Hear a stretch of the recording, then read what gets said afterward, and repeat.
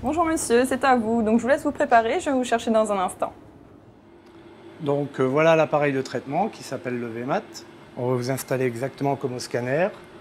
Ces outils-là nous servent à faire des images pour nous repositionner par rapport au point de tatouage. L'appareil pendant le traitement tourne autour de vous. Ça dure à peu près 80 secondes. Et le tout dure à peu près 5 minutes. Voilà. Présent, vous pouvez vous installer. Donc là, je vais vous mettre le masque qu'on a réalisé au scanner. Donc ça sert un petit peu. Et c'est le but, c'est pour que vous ne bougiez pas du tout. On se place sur les lasers et les croix qu'on a réalisées. L'appareil va tourner autour de vous, on fait des images de contrôle et seulement après on fait le traitement.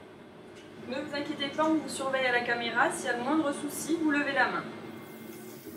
Avant de commencer le traitement, on va réaliser deux images perpendiculaires pour vérifier la position du patient. Donc ici on a l'image de référence faite au scanner de profil. On fait notre image sur le patient. On vérifie qu'on est bien au niveau de la colonne. Donc cette image-là est bonne. On envoie l'image perpendiculaire.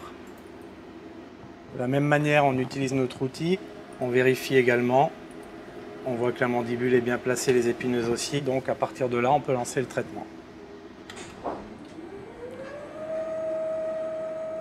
On va s'apercevoir que les lames vont bouger en continu pendant que le bras tourne. Donc elles vont protéger les volumes sains et laisser le rayon passer uniquement pour irradier le volume tumoral.